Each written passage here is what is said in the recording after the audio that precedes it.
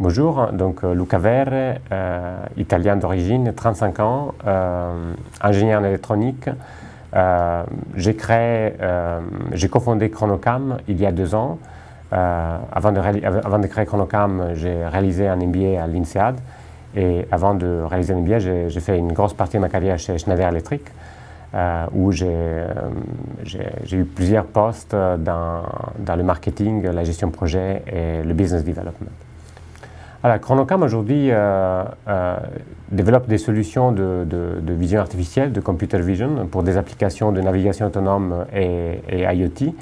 Euh, l'idée à l'origine, c'était de porter une technologie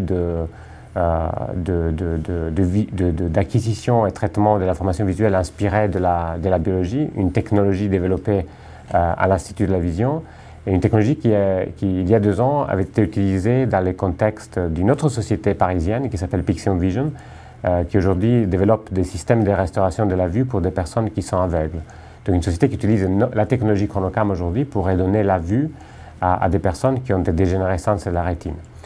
Et donc à l'origine, euh, quand nous avons créé Chronocam, notre mission était celle de porter cette technologie qui avait permis de redonner la vue aux aveugles euh, pour euh, maintenant donner la vue euh, aux objets, aux, voitures, aux drones et aux robots.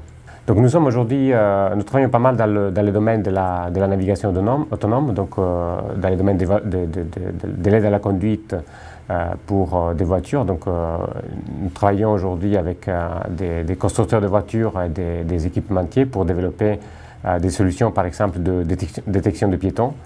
Euh, ou de, suivi de lignes, de reconnaissance des panneaux routiers. Donc c'est une caméra. Euh, la technologie Chronocam, c'est d'abord un capteur euh, d'image qui s'inspire donc du fonctionnement de la rétine biologique, de la rétine de l'œil humain. Donc c'est une, technologie d'acquisition qui ne génère pas d'image, mais qui génère des événements, comme le fait la rétine humaine, c'est-à-dire c'est une caméra qui acquiert l'information seulement de ce qui change dans la scène. Et, cela permet d'avoir beaucoup moins de données et d'être beaucoup plus rapide au changement qu'il y a dans la scène.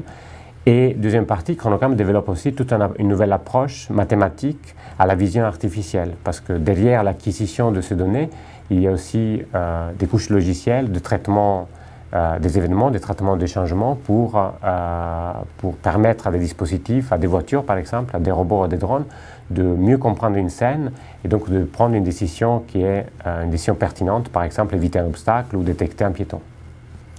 Alors oui, donc notre technologie, c'est une technologie assez unique dans le sens que notre caméra permet d'acquérir l'information visuelle en générant beaucoup moins de données, avec des temps de réaction très rapides et tout, tout en étant indépendant des conditions de lumière.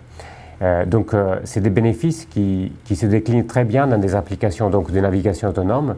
Euh, pourquoi? Parce que typiquement, on est dans des contextes où il faut réagir très vite et où les conditions d'éclairage sont très difficiles. mais il y a aussi d'autres cas d'application, par exemple de la réalité virtuelle ou réalité augmentée. Le besoin est celui de détecter rapidement l'environnement, euh, et de ne consommer pas beaucoup de ressources parce que typiquement on est dans, un dispositif mobile, donc il y a des contraintes en termes de bande passante et de, consommation énergétique.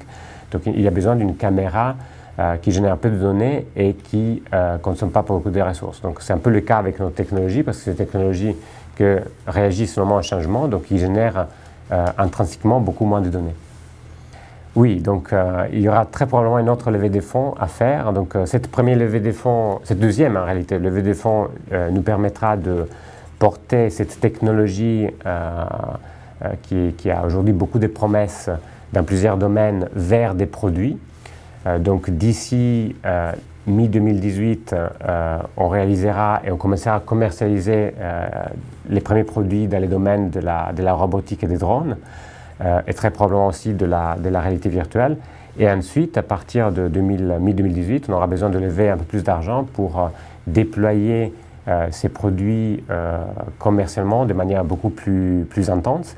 et en même temps euh, de passer une phase d'industrialisation de la technologie pour ensuite cibler les applications de, navigation autonome pour, pour les voitures. Un marché qu'aujourd'hui on cible plutôt pour 2020-2021. La question sur la concurrence. Qui sont nos concurrents euh, donc aujourd'hui, euh, sur cette approche euh, de vision artificielle neuromorphique ou bien inspirée, on a, Chronocam a une, vraiment une position assez, assez unique sur le marché. Il y a deux ans, quand nous avons, créé la société, on a, fait un choix stratégique de récupérer toute la propriété intellectuelle qui était associée à cette technologie. Donc on a, je dirais, sur le marché une position assez, forte, assez exclusive. Donc nos vrais concurrents aujourd'hui, c'est les, technologies conventionnelles, euh, c'est-à-dire les, sociétés qui aujourd'hui utilisent des, caméras euh, qui génèrent d'images euh, et qu'aujourd'hui on estime être très bien adaptées pour faire de la photographie, mais pas du tout adaptées pour faire de la vision artificielle.